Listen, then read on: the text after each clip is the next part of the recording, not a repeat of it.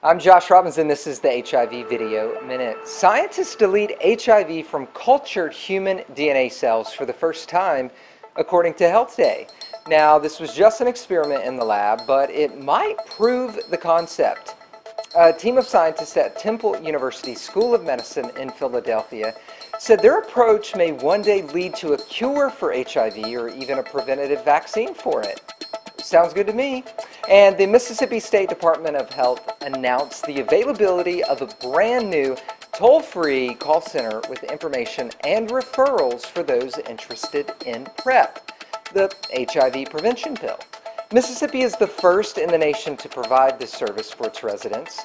While the State Department of Health doesn't actually provide PrEP at its HIV treatment clinics, the call center can now link those who qualify to providers who do offer it. Hey, we'll take that. Anyway, congrats for taking the initiative.